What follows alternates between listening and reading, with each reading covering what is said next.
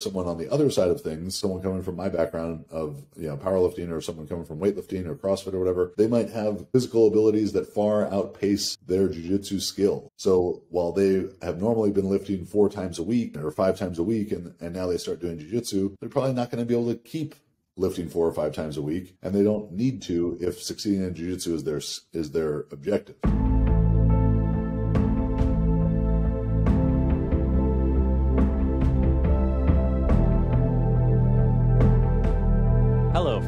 Thank you for tuning into this week's episode of the Mayn Idea Podcast, where today I had the pleasure of sitting down with Chad Wesley Smith. A quick reminder for those that enjoy this podcast please take 30 seconds and leave a five star review on Apple or Spotify and subscribe to the YouTube channel. This helps the show get discovered organically and helps me continue to bring on amazing guests.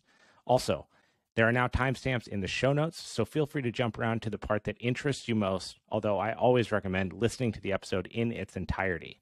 Chad Wesley Smith is the founder of Juggernaut Training Systems, Juggernaut AI app, and the Juggernaut BJJ app, which I now use for my strength and conditioning specifically for Jiu Jitsu. Previously, Chad was a national champion collegiate shot putter, professional strongman, power lifter, and owner of a 970 pound back squat with sleeves, 567 pound bench press, and an 815 pound deadlift, which, if you're unfamiliar with strength and conditioning, is insane.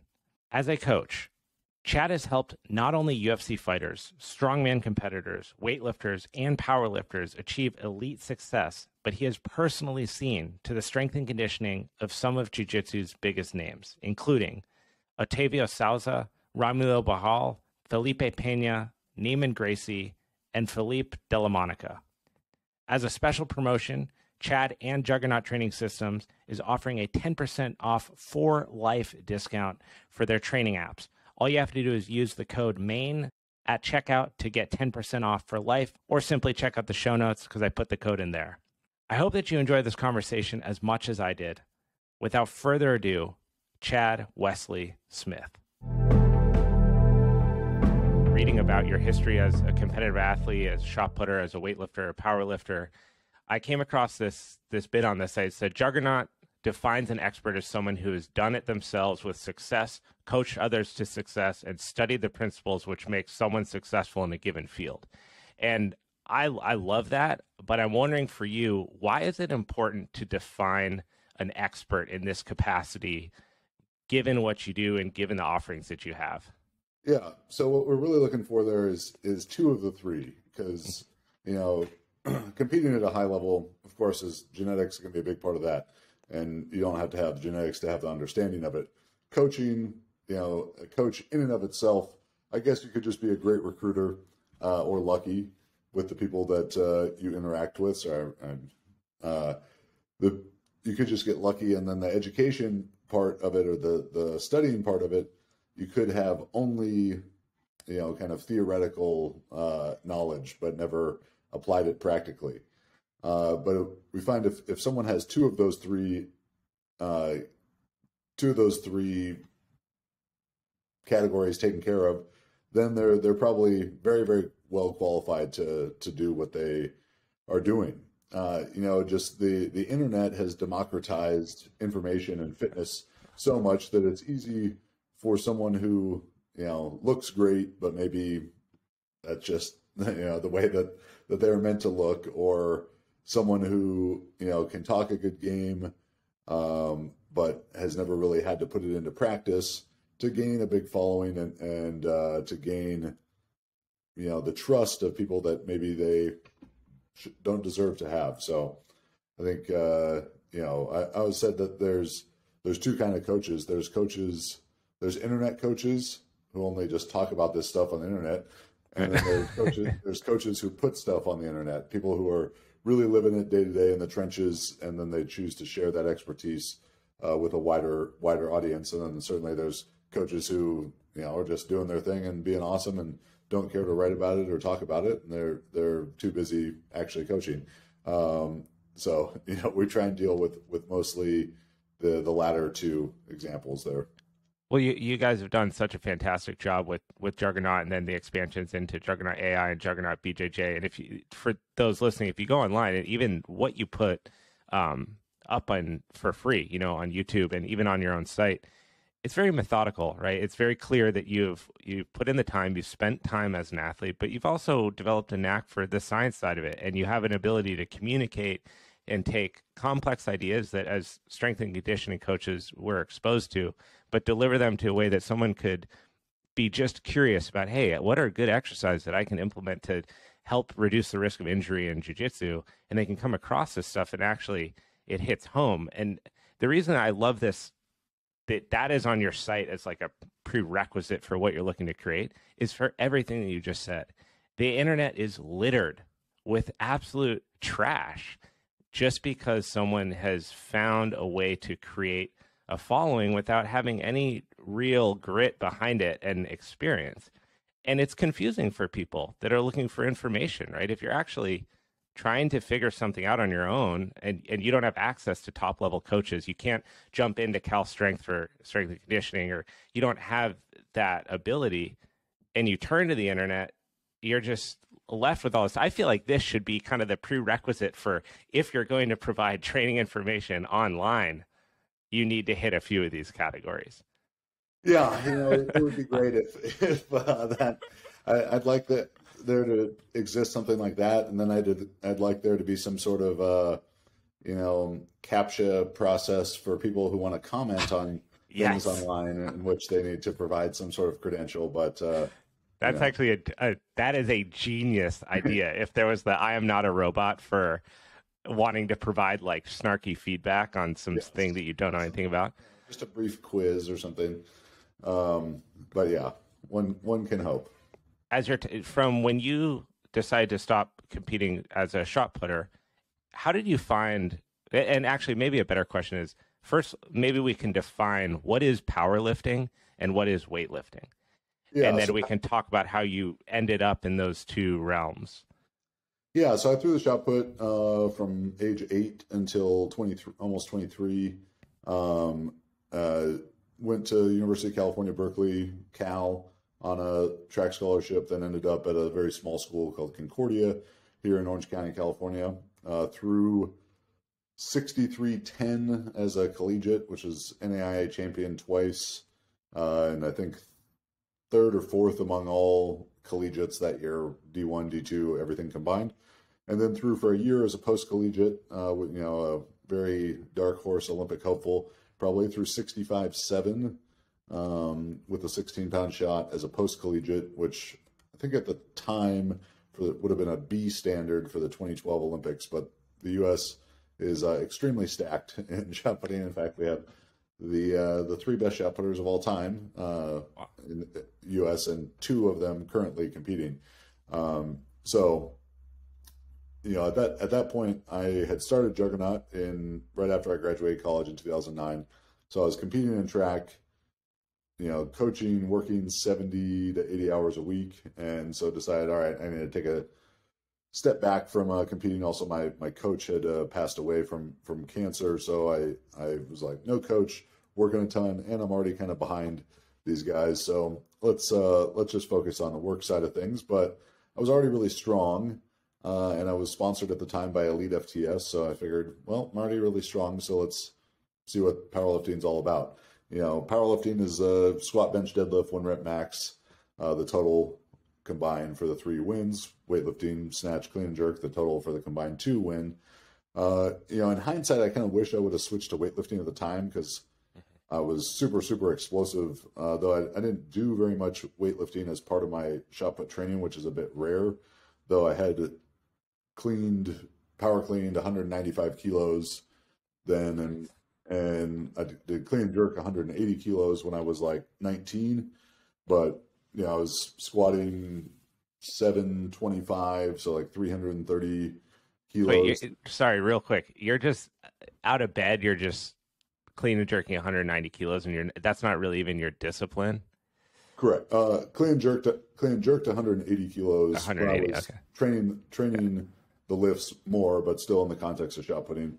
And then after about two years, really not doing any cleans, I sort of just well, let's see, let's see what I can do one day, and I power cleaned 195 kilos then. But you know, wow. I also well, I was 290. I had a 36 inch vertical and squat 725. So you know there was a lot working in my favor there. Um, so I kind of wish I would have switched to weightlifting then instead of powerlifting because if it didn't work out, I could have you know pivoted to powerlifting later. But the the reverse doesn't work out as well typically. But anyway, started powerlifting then in uh, fall of 2010 did pretty well for myself as a powerlifter. Competed for six years. Uh, ended up squatting 440 kilos, 970 pounds um, as a super heavyweight. Benched 567, deadlifted 815. Also uh, competed in strongman. Was a won nationals in strongman in 2012, so became a professional strongman with that. Um, and then coached a ton of uh, you know all your favorite powerlifters. Pretty much uh, coached two thousand plus pound squatters. I think the only person to do that for raw powerlifting. Uh, a bunch of you know eight hundred plus squats and deadlifts. IPF champion uh, in uh, women's uh, tested powerlifting. Uh, so you know, big ones, small ones, young ones, older ones, men, women, coach them all. So if you have the the prerequisites of a power lifter, you have quite a substantial amount of strength across these three movements. And if we look at something like strongman, I've always been curious what is the the transition like from that? And what things carry over really well and what things are kind of left by the wayside? Because if if I'm thinking about it strongman's going to be a lot of like odd position carries, lifts, putting things up and over uh, different targets uh, throwing. So it's a, a unique blend of being insanely strong, but then also being able to take that strength and move it dynamically, which is some of what we see in Olympic weightlifting, except it's confined to these very three specific movements. So, how did you, how was that initial transition into strongman? And maybe you can d- describe a little bit what strongman is for those that are unfamiliar with it. Yeah, uh, I mean, strongman is is heavy shit fast. That's what you see on TV sometimes. You know, lifting refrigerators and the big rocks and all that stuff. Um, for me, it was a pretty simple transition. I was already very explosive and very athletic from my you know lifetime of track and field, um, and then I was really strong from powerlifting. So I just kind of put them together um, and you know practice the the technique of the events. But when I won nationals, I it was only my fourth my fourth strongman show. I'd been competing for about nine months, um, eight months actually, I think. Uh, so yeah, the the you know events all have their own technique, but because every show that you do might have a different might have different events at them, you got to be adaptable and Are there people who are great technicians of strongman? Certainly, but because every event you do has different has or different every show you do has different events, and they might change day of like oh we couldn't get this piece of equipment or you know it's it's uh it's you know it's raining so this event's not going to work because it's going to be too slick you know whatever, whatever it is the my best advice if you want to do strongman is to be a strong man or strong woman. Um, and as a prerequisite. Yeah, you know, you can if that that gets you through a lot. If you're if you're strong and in you know decent strongman shape, which is like can go really hard for a minute, uh, you're going to do pretty well for yourself. What? How do you stave off injury in a sport like that? Or I, I guess in in powerlifting as well. I mean, the the volume alone can be detrimental. You see a lot of people get injured just in the training, not necessarily in the actual day of performance where you hit your peak lift, but what are you doing in your your off time to keep your body at homeostasis? Yeah, um, I mean, injury management is going to be the same way that it is for any sport. You got to train within your capacity to recover. So you know, a lot of what Juggernaut AI app and Juggernaut BJJ app are, are built around, and and the principles we talk about with training uh, involve these volume landmarks. So we talk about MV maintenance volume. You know, basically, and and it's easy to contextualize volume as you know tonnage or sets times reps, uh, or number of sets in a given intensity range. But all training, you know, can be measured that you know, some better, some more simply than others. But typically, when people are getting hurt, they're exceeding their body, the tissue's ability to adapt to a given load. So that could be too much volume in too short of a time, too much volume over the extended period of time. Whether that's too much jujitsu training, it's too much, you know, squatting, it's too much deadlifting, it's too much football practice, whatever it is. So maintenance volume is it's going to keep you at the same uh, uh, level that you're at right now. MEV, minimum effective volume, the smallest dose of training required to make a positive adaptation. MAV, maximum adaptive volume, you know, kind of the sweet spot of where you respond the best. And then MRV, maximum recoverable volume, uh, you know, the most training that you could recover from in a microcycle. So, you know, if this week I squatted 500 for four by six, and next week I'm able to do 500 for four by six again, I'm recovered. If I can right. do more, I'm recovered. If I can't, if I can't do as much, then it's I've exceeded my recovery capacity for that for that time period. So, you know, making sure that we're training within, you know, under MRV, and then using fatigue management strategies like, you know, playing deloads or light days, mm-hmm. sleeping enough, eating enough. That's going to be the bulk of it, and then you know, a very very granular part beyond that is going to be the uh, you know massage or ice bath or you know other passive recovery modalities. So you're so you're saying my just getting a Hyperice gun and jamming my legs all day doesn't fix anything?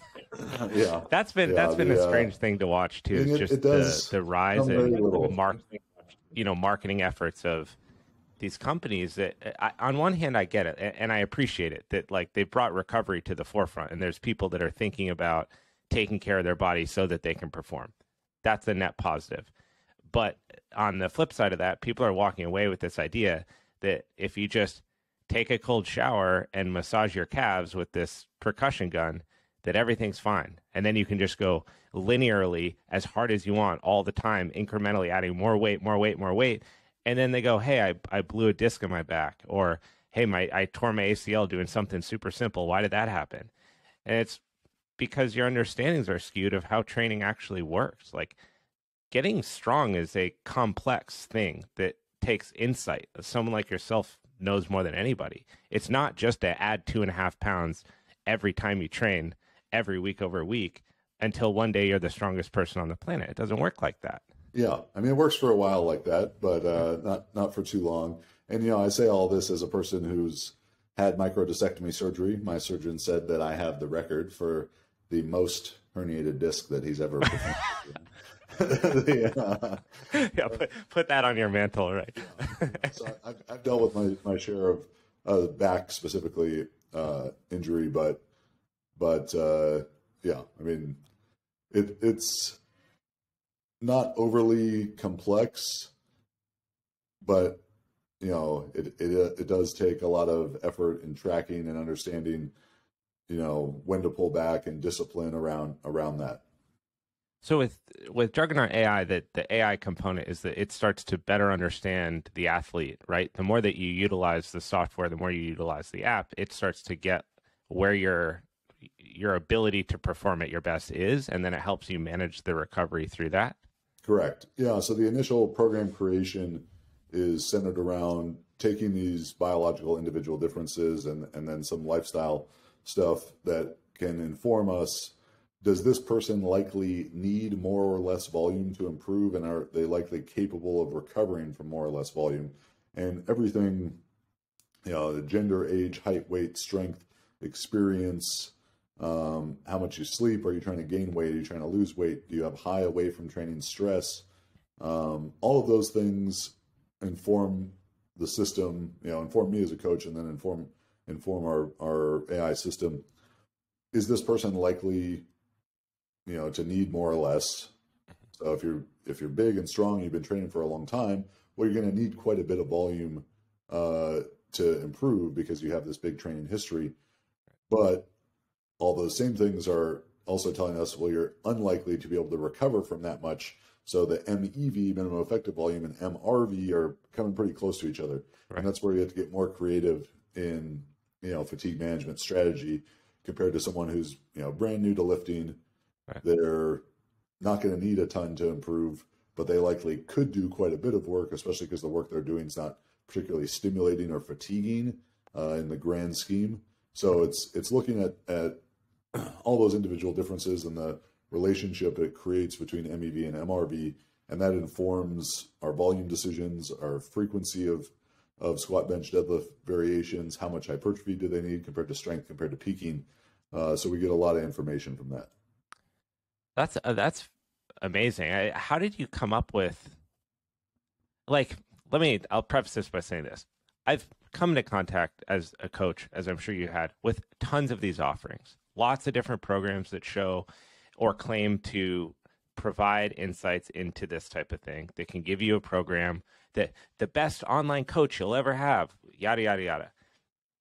Just in looking at what you guys are offering, one, it's extremely professional, it's clean, and then what you're what you're helping the person solve is a very very crucial part of training that is commonly overlooked. How did you get to the point where this was ready to one launch and then actually start servicing people? Because uh, you service competitive athletes also. It's not like this is some app where you just you sign up and you get a 30 minute workout and you feel great this is high level athletic programming that's actually even helping people compete at the highest level and set records which each one of those things is another rung on the ladder of difficulty to accomplish especially with a deliverable like this so what was that creation process like for you? Obviously, you had the knowledge, the athletic experience, the professional experience, but to get it into a deliverable is that's challenging and expensive. Yeah, so uh, I have a great CTO, uh, Tim Arnold, who developed the the apps and actually wrote wrote the code. That was about a ten month process for him working on that.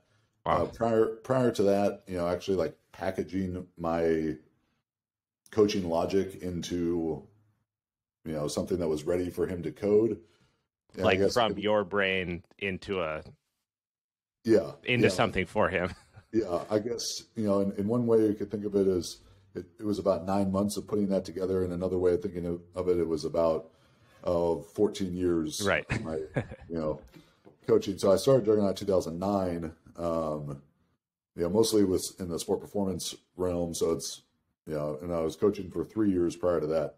Uh, so I started as a professional coach. I mean, getting paid to be a coach when I was 19 years old, um, and just was always very interested in it. But I think where being able to create the system that is now Juggernaut AI began would have been around 2015. I was a co-author of a book called Scientific Principles of Strength Training with my friends Dr. Mike Israetel, Dr. James Hoffman from Renaissance Periodization and you know they both got fancy you know, sport physiology PhDs. I have a degree in history, but uh, yeah, it doesn't get a lot of use for me these days. Yeah, they were stoked that you brought that to the table, right? Yeah, yeah. Uh, they just wanted me for my good looks, but right. the uh, you know, so as we as we did that book, it took a lot of what I was doing intuitively uh, as a coach or you know, had an understanding from through reading or dealing with other coaches or trial and error, and started to formalize that into these principles specificity, fatigue management, or sorry, uh, sorry specificity, overload, fatigue management, SRA, stimulus recovery adaptation, uh, variation, phase potentiation, and individual differences.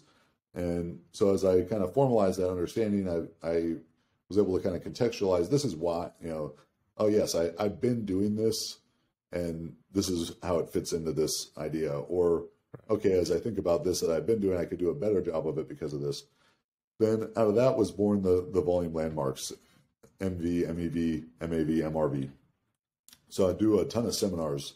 Probably did uh, 250 seminars all around the world from 2010, uh, and then the last ones were in 2019. Um, and as I would talk about these, talk about how to design programs for you know the athlete themselves, or talking with coaches how to how to individualize things for their for their clients or their team. I would talk about those individual differences. All right, how does gender affect how much volume the athlete needs? How does the size of the athlete affect the frequency of overloading training that they're gonna that they're gonna require to improve? and I would go through these presentations and explain explain these ideas, and then kind of at the end, still people would be like, "Well, but what's my MRV? Tell tell me my number." and the the principled descriptive rather than prescriptive, uh, you know, discussion was not quite enough for them. So I decided I was like, all right, you know, I know that there is like I know how I'm going to change a program for someone who's you know 40 and weighs 280 squatting 800 than someone who's you know 21 a 21 year old 120 pound girl who's been lifting for six months. I know how i'm going to change the the program for that so i just got to show other people how to do it. So i just kind of began coming up with magnitudes like the scale of, of magnitude like all right how much does gender change you know how much do we change for male versus female volume? And then if they're short or medium height tall or really tall how do we change it? And you know so just kind of came up with this this big flow chart for that. And then um you know just kept putting trial cases through there and refining the numbers. And you know it was really interesting for me and i was also like through that process i wrote my book powerlifting program design manual uh, which is you know not quite a paint by numbers but uh but you know a step by step process of how to assess athletes and create programs from that from those assessments it was a great like mental exercise for me because i knew well when this goes into the app it can't the answer can't be because that's how i do it or that's how i've always right. done it yeah. or i feel this or i feel that this is this is what's going to happen and i got to own that decision and so it was a great mental exercise for me to have to really you know, look in the mirror at why I was making coaching decisions and dissect every set and rep and an alteration to a program that I was, you know, had created for someone or would create for someone in the future, because you know we've got people, again from all from all stretches. I posted a video of one of our app users this morning squatting 825. I watched it. Yeah, he's it's insane. You know, he's pulled 840. You know, we have from that all the way down to people maybe they've been lifting for six months. You know, from we've got 20 year olds and 70 year olds using it, and it's creating something something uh, individualized for all of them. And I think part of what I want to do there is kind of reshape people's understanding of you know programs versus programming. Like mm-hmm. you could go, you know, uh, you go by a program. Like I wrote the Juggernaut method back in 2010, and it's a fine program, but it's fixed. It's sets and reps right. that don't change whether you're 20 or 60, whether you're weigh 120 or or 320. And that's not how training should work. You know, everyone who's writing those those programs and Juggernaut method 531, you know, starting strength like if it, if it's got a name that you know probably right. it's it's fixed. And that's written for you know some slice of the bell curve of, of people. And it's going to work better for some and worse for some. And it's going to be awesome for, for other people. But as that person that it's working awesome from, as they get stronger and they get older, they get bigger, lighter, higher stress times of their life, lower stress times of their life, you know, coming back from injuries, whatever it is, their needs change, but that program doesn't, but ours right. does. It keeps adapting. So even when you know I do these seminars and people would ask, well, how many times a week should I squat? Which seems on its face like a very simple question, and they were hoping for a very simple answer. but I, am not one for very simple answers, not for complex answers either, but just for for complete answers. Right. So you know, I would try and explain to them, well, this is why someone might need higher frequency or lower frequency. So this can be the answer for you now Mm-hmm. It could be the answer for you when you're 20 weeks out from a meet, when you're two weeks out from a meet. For you not today, a year from now, five years from now, 10 years from now, for your training partner, for you know, for your wife, for your son, for your daughter, whoever you're working with, to understand, you know, to just go a little bit deeper and understand the principles behind that decision making process than just saying two times a week it's the best. Everyone should do two times right. a week.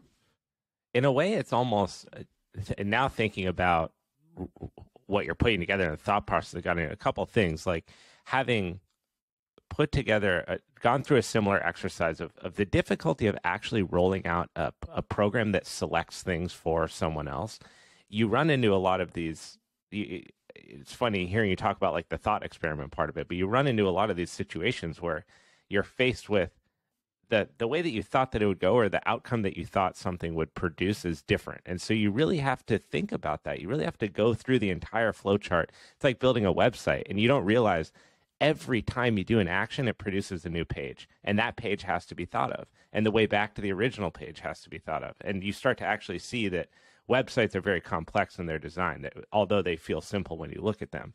But then I think about the the future of sport utilizing something like what you're talking about becomes really useful because if you think about sports teams, right? A lot of these guys they're running eh, they're scientifically smart programs, but they're running them together in big groups. But they're individual athletes. Some of them are stressed out. Some of them are in relationships. Some of them sleep alone. Some of them don't sleep. Some of them are stressed. Some aren't. Some have neurological stress. Some have injuries.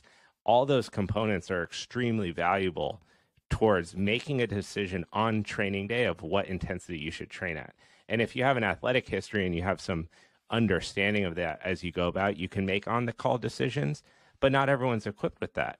And so, it, like I've ran starting strength programs, or I, I used to do uh, Greg Everett's programming for Olympic weightlifting, and I would get a, a bulk 12 week program, you know, that's, that's smart. It's designed by Greg Everett. The guy knows what he's talking about but then at the end of the day, there are a lot of times where I would have to be really dialed into like my recovery, my volume, my nervous system to then choose how to go about it. And I, I was fortunate enough to be able to make that choice. But there's a reason that question's so complex. How many days a week should I squat? Yeah. And it's not to be contrarian. It's like, because the answer is actually not that simple. Yeah.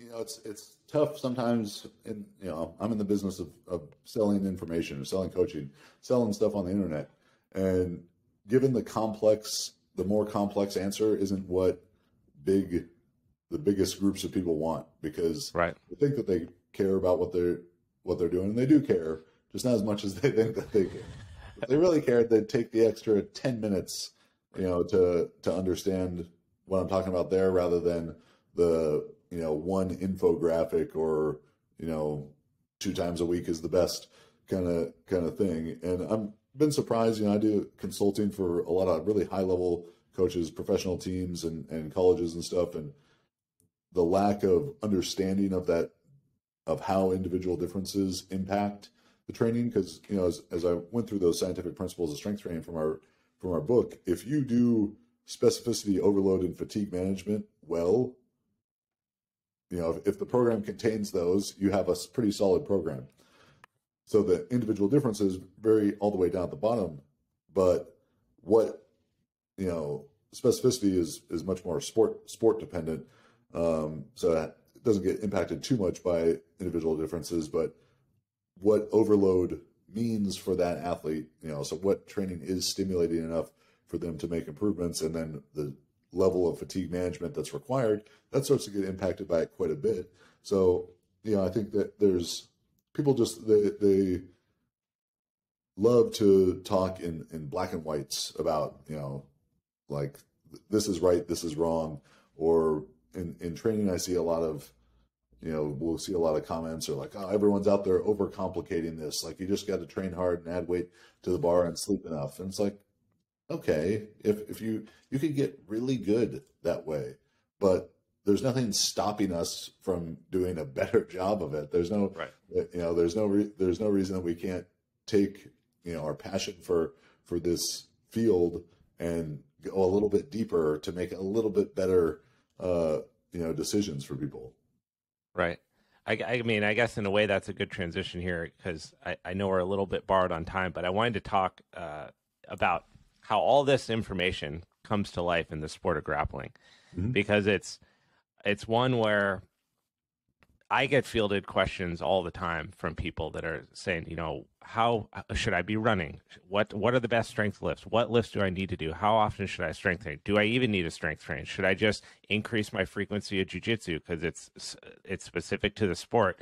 And one thing that when I was going through just like videos that you put up, something that I found really like it really hit home for me was this idea between the problem of specificity and special strength.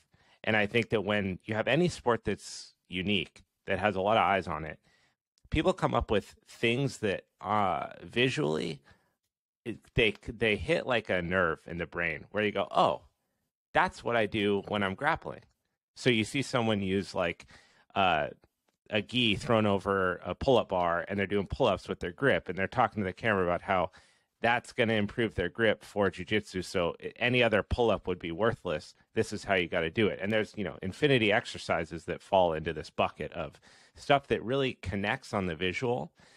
But when you understand strength development the way that you do and the history that you have with it, you're able to separate these two things into not that one doesn't matter and one does, but maybe we can start there with this idea of specificity and special strength and what you mean by those two.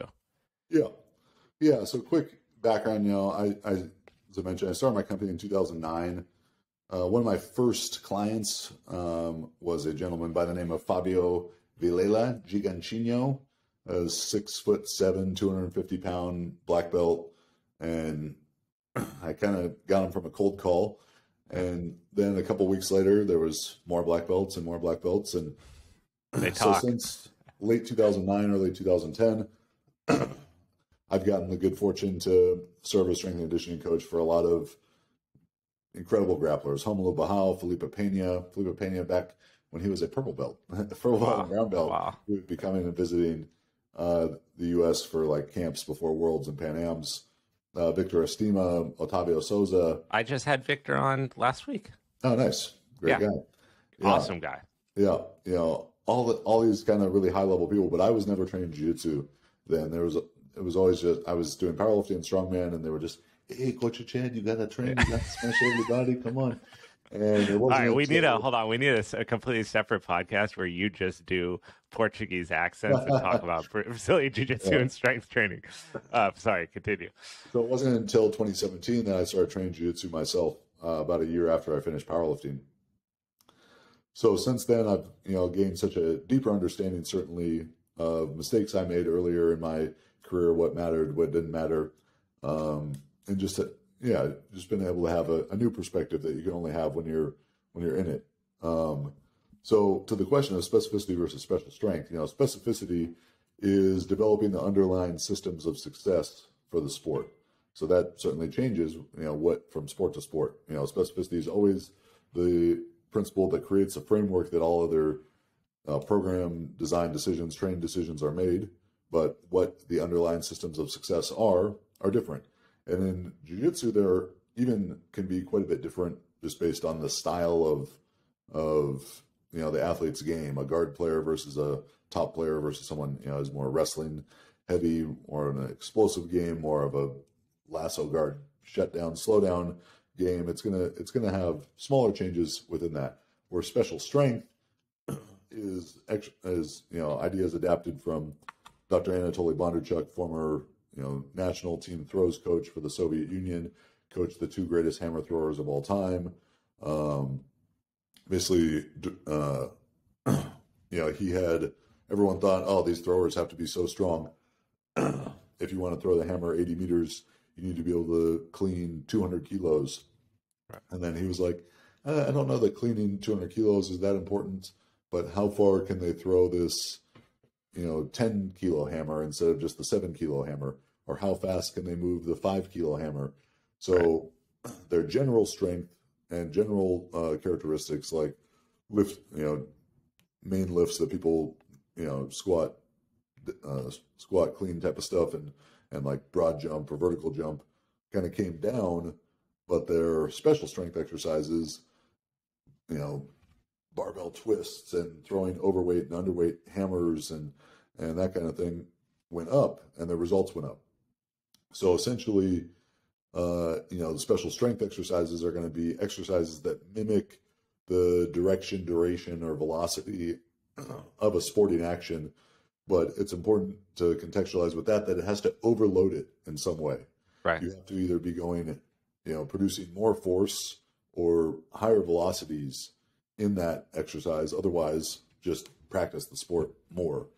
Uh, and the other part that comes in, especially with a sport like grappling, where a special strength exercise can have a role as long as it's, you know, fulfilling those characteristics of mimicking direction, duration, or velocity, but overloading the force or velocity side of things, is that you might be able to to get some extra work in the special strength exercise that if you were to just roll more, there's so many different components of stimulus and fatigue that come along with that that it, you may be exceeding your MRV by you know rolling five extra rounds in a week. Right.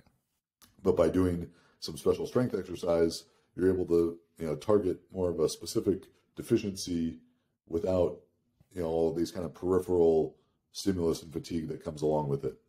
And so does that that then becomes individual in the fact that those special strength exercises should be selected based on discrepancies or weaknesses in the athlete, right? So if you're going to do a, a bent over like band resistance explosive gorilla row, that should be because you've noticed in your training that when you're over your partner and you're trying to control their sleeves, they break your grip constantly.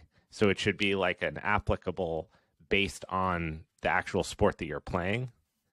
Yeah, I mean, ideally, every exercise is going to be chosen pretty specifically for for the person.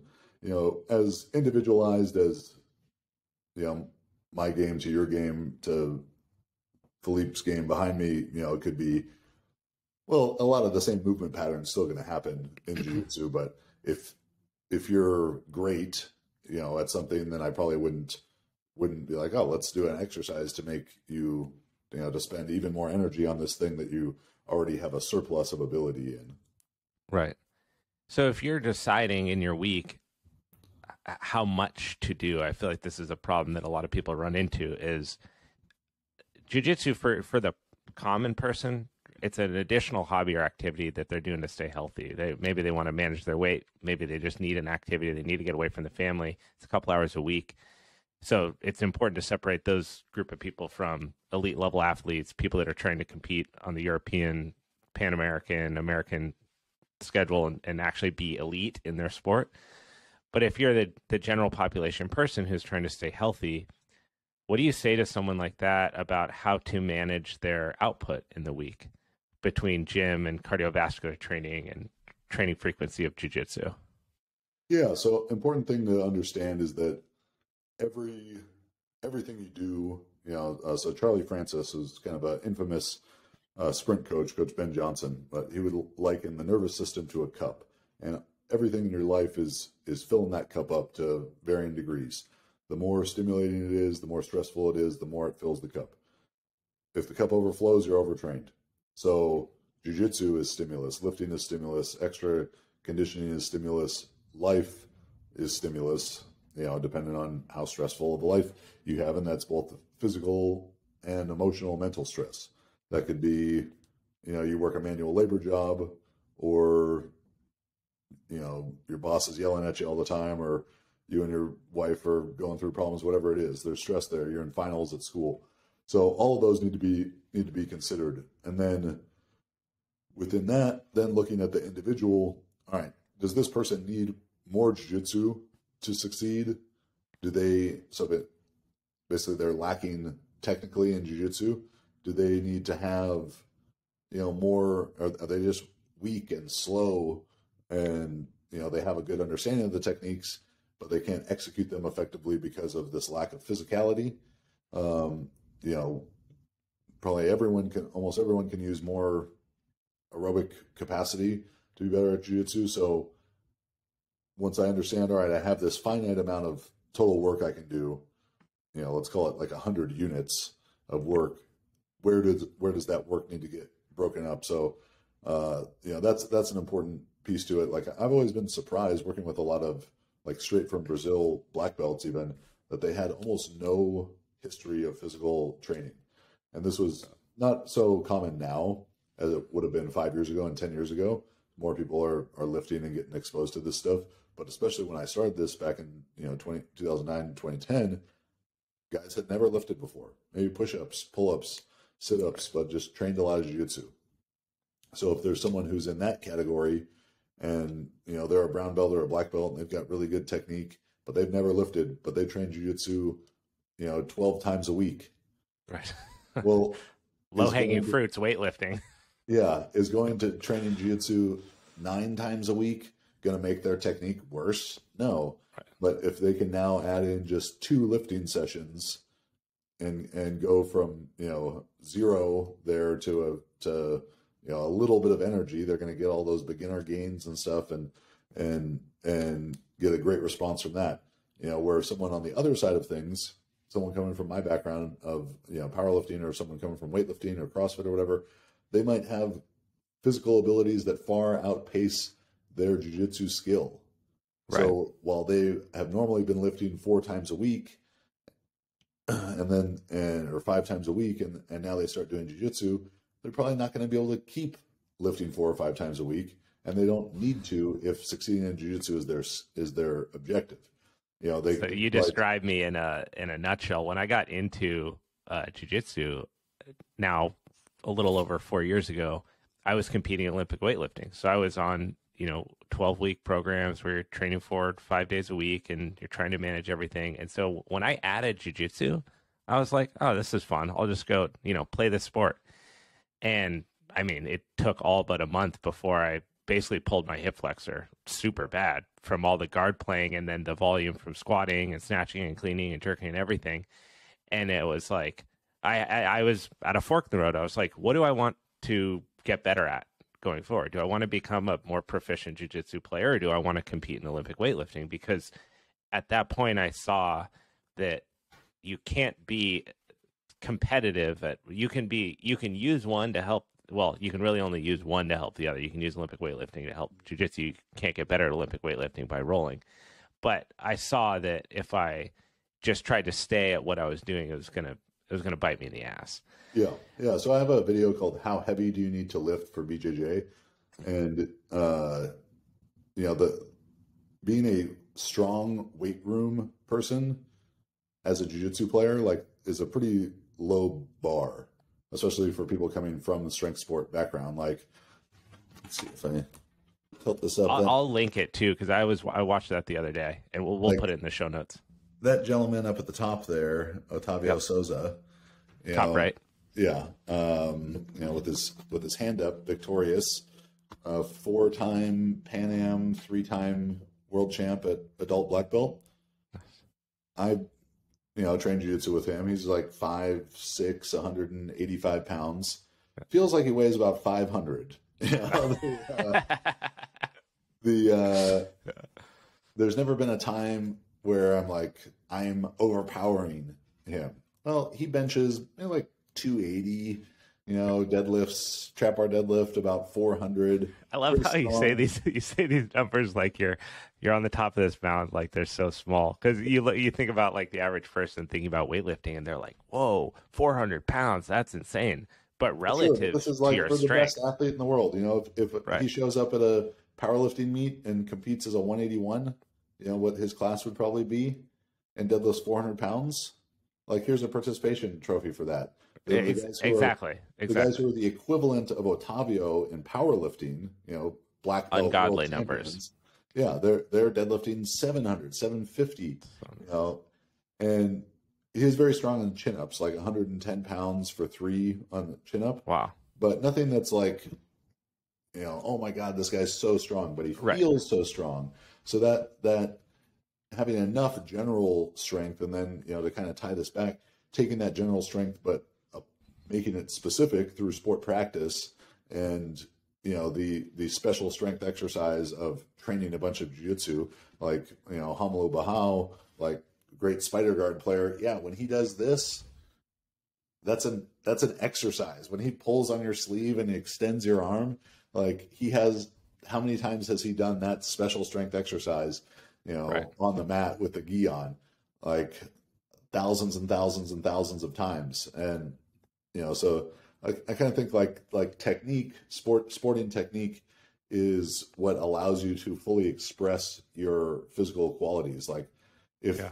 just if jujitsu was just a how strong are you? I would be the best, but I'm not. Right. I'm not close. You know, because my strength is getting sprayed, you know, yeah. everywhere because compared to a guy like Felipe or Otavio who's taking theirs and focusing it and blasting you with right. it in the in the perfect position and timing and all that that stuff. But what but, was your? I'm very curious, just psychologically, like you're you're strong as hell throughout your life. Uh, you don't start jujitsu until later. What was it like going into jujitsu, being because there's there's strong people that decide they want or athletic people that decide they want to start jujitsu all the time, but there's very few people who are globally elite at being strong the way that you are that then start and do jujitsu. Sorry, I, I got to plug my computer in. No, you're good. Um, yeah, you know, some of the first pieces of advice that I was given by my professor Philippe Della Monica, who you know coaches all kind of high level MMA guys, TJ Dillashaw, Rafael Dos Anjos, Neiman Gracie, uh, was to train, and, and I'd known Felipe for 10 years, you know, when I started training jiu-jitsu, that he told me, he's like, well, train, train like you're weak, you know, don't, don't use your strength. He said, because when you, he's like, you could just power through and, and, you know, be beating up all these white belts, but, you know, what technique are you going to develop doing that? Right. So I took that advice to heart, probably even to a fault sometimes where I'm, I'm so conscious of like, man, I'm a lot bigger and a lot stronger than everyone, so I don't want to be a dick and a bad training partner. And everyone, I don't want to train with Chad. He's too, he's too he's big, too big, too strong. You know, so so I I play light a lot, yeah. um, but you know, plenty of humbling times too. Like Professor Philippe is about 175 pounds, and I'm going to pass his guard one day. I know, I, I know it. you know, because now it's like if I do pass his guard, I was like, he probably just let me. He probably wants to work some some mind games, side control, so he just let me do it. Right. Um, but yeah, very very humbling for sure. Yeah, it's a, it's such a, a unique. Victor and I were talking about this actually, oddly, last week. Um, it this it's such such a special art form of sport because of that. Like you you can be someone who's 175 pounds, a black belt, super experienced, tenured, and actually create a serious problem for someone like yourself who's big and super strong by all measures of the word. And that's a unique situation. It's very uh, special how how much the technicality plays into the effectiveness of what you're doing. Yeah. And I mean just the the feel of like these guys' ability to apply their force really well. Right. Like I was saying, how Otavio feels like he's 500 pounds. The uh, was I was getting ready for I did a, a FloGrappling, a who's number one like super fight back in 2020, and I was also doing combine NFL combine training. So one day I show up to to coach our our guys, all these college football players getting ready to go to the NFL, and they can tell that I'm just like, fuck, I am I am exhausted right now. And they're like, hey, coach, when you know what happened? I said, I just trained jiu-jitsu. Like this guy, I was training with Otavio, and I was like, this guy kicking my ass. And they're like, oh man, like you know, how big and strong is this guy if he's kicking your ass? I was like, he's like 185 pounds. And they're just like, what? Yeah. And I was like, you just you just have to feel it. Like there's no way to understand it until you train with with people who are just great and yeah. like, what is going on right now?